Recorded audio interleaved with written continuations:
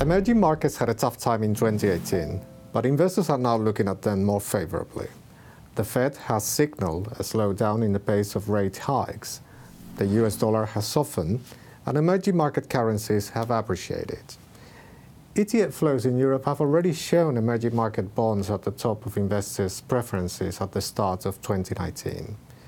It's actually easy to understand why. There are some concerns about global growth, which favor bond markets.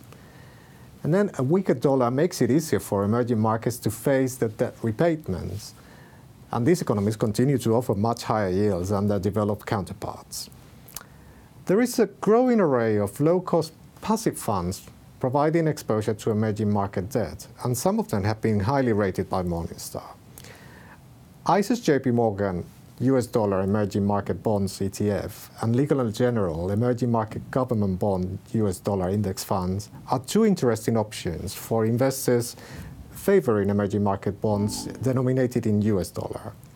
iShares Emerging Markets Local Government Bond and SPDR Barclays Emerging Markets Local Bond are two ETFs for investors willing to take on local currency risk.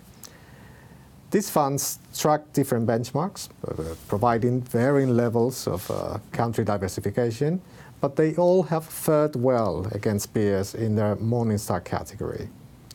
As a result, they carry a Morningstar analyst rating of silver.